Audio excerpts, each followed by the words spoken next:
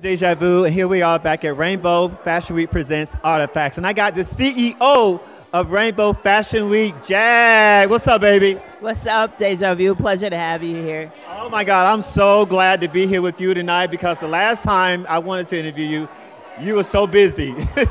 you were going all over the place, and I definitely understand.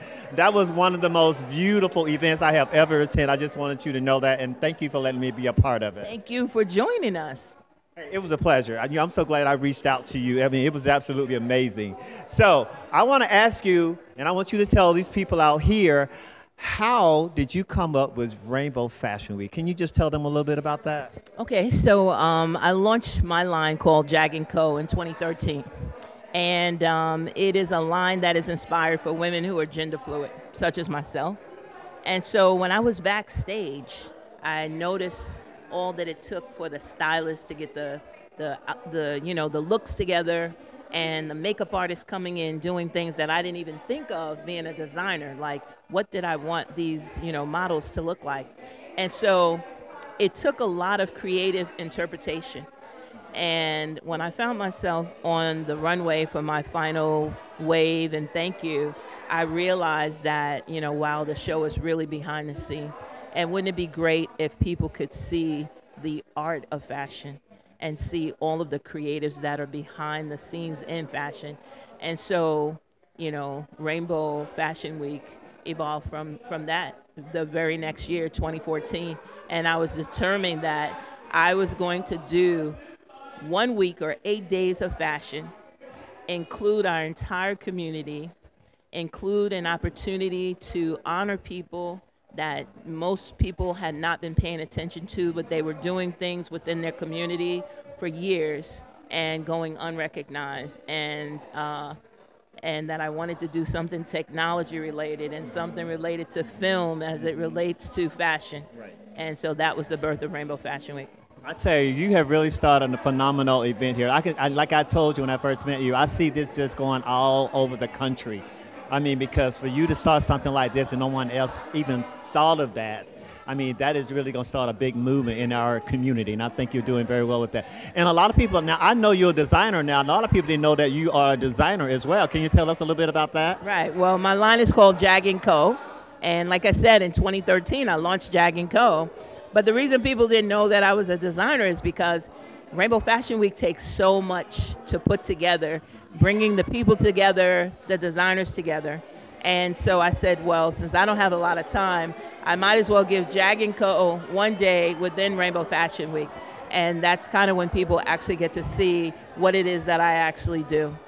Well, I definitely have seen your work, and I think it's absolutely amazing. And I love you for what you're doing, and I want to thank you so much for what you're doing in our community because it took somebody like you to really put you know, Rainbow Fashion Week, you know, the gay community, LGBT out on the map. You know what I mean? So that means a lot to everybody. And I'm speaking for me and everybody else that's in the community. And I cannot wait until you take this to Atlanta, Chicago, LA, all across the country because that is definitely going to be a big movement. Well, you know, we got to get the word out because next year is our fifth year. It's June 15th through 22nd. And we're going to have some more phenomenal shows photography shows. You know, we might even do something on a boat next year. Everything about Rainbow Fashion Week is not your average fashion week. I can say that it's not. Right. So don't come don't come looking for a straight runway show. We really want you to be entertained in the art of fashion and that's so important to us. So we got to help spread the word. You guys see this video, share it, even if you share it one time. A share is much more important than a like. So the more we can get the message out about what it is that we do, you know for a fact we had uh, we had an amputee that walked the runway. Beautiful, beautiful Maria. Oh my God. Mm-hmm. Um, we had three deaf models, and everyone's how do deaf models walk? They feel the vibration on the runway. Exactly. We had a straight guy that reached out to us, Antonio Brinson, and he was a 17 year um, Army vet and he asked us, would we please just give him an opportunity to make his dream come true? And Rainbow Fashion Week is about making dreams come true. So we came up with the hashtag, hashtag who are we to say no? And that's pretty much what it meant. We want everyone to feel a part of Rainbow Fashion Week and to be able to see a representation of themselves on the runway. And so this doesn't mean, it doesn't matter what color you are. You can be black, blue, green, purple, red, no matter who you are, gender fluid, gender unfluid, black, white, green. Come on out, share the word, get it out there, and be a part of it next year. We're coming back in 2018, right? That's right. So download the mobile app, Android or iPhone, Rainbow Fashion Week or RFW. Get it, it's free. You get all the updates, models, designers, any information you want to know. Um, we do about eight designers per show, so you got to get your information in quick.